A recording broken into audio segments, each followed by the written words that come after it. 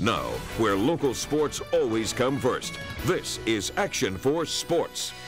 The NFL draft is come and gone, but West Texas A&M and La Joya alum Sergio Castillo, the NCAA record for career scoring, the Lone Star Conference career record with 62, wants a shot at the NFL, and he's going to get it. The former Coyote worked out for a few teams before the draft, but tonight the New Orleans Saints have requested Sergio Castillo's services for a four-day minicamp next week. I talked with Sergio tonight, who says it is the perfect situation. I'm the number one guy, you know, entering uh you know, in case I don't get drafted and going into mini camp, and um, that they would only bring me, and that's it. And hopefully, you know, that I do pretty well, and hopefully they like me, so I can get a um, a a contract after that for uh, for preseason and stuff like that.